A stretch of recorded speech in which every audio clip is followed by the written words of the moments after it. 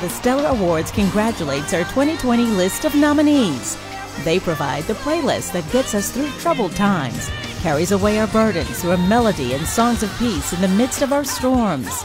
They are the faces of the music of hope, and their contribution to gospel music is undeniable.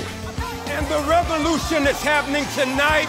And if you believe that, make some Holy Ghost.